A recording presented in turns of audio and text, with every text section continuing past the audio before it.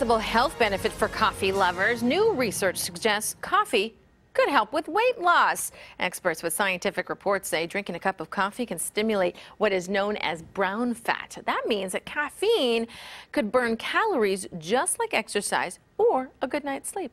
Past research has also shown that drinking coffee could lower risk of diabetes, cardiovascular disease, and even death. But still, experts say that too much may not be a good thing.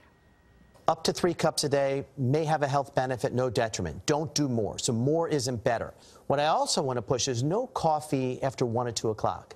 Caffeine's half-life is six hours. So, you know, if you have a 1 o'clock, still, you know, it's only going to be half the level by 7 o'clock at night. And so even if you sleep, it's not going to be the deep, restful sleep with caffeine on board.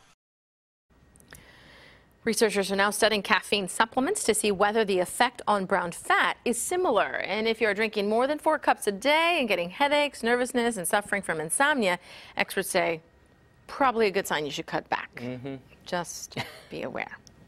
All right, it is.